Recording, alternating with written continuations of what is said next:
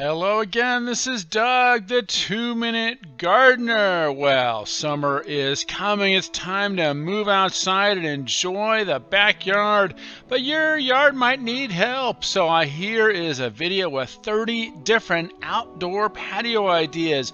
And included in this, I actually go through what the cost of those materials are from my top 10 all time favorite type of materials, all the way down from 10 to 1.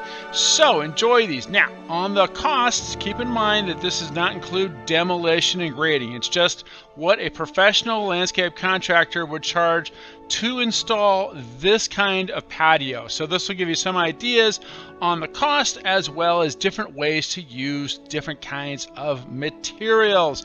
So take it all in and enjoy.